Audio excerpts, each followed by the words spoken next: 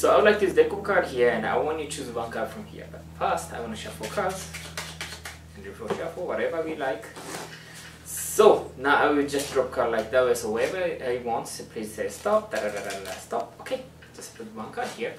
So uh, this is your card, your chosen card. This is very important and I want to see it too. Okay, uh, red jack, uh, like a jack of hearts. This is pretty important. This card is very special and I want to discard ink for the district. This is what I do. I just push a little bit. When I do like that way, you got a jack of hearts so you can see it changed, like you know, it printed the two cards like that way. Oh, it's diamond and heart, but looks like, right? So when I do like that way, face to face, when I do like this, now I like black black ink, so now it become black card, like that way. When I want, I can do like do this again, like that way, become two jacks like that way. The point is this, when I put card like this in the middle of the card, now I don't know where the jack looks like, I can shuffle the card.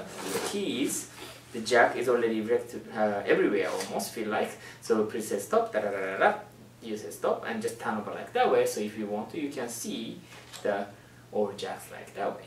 So two red jack and two black jack. That's it. Thank you very much.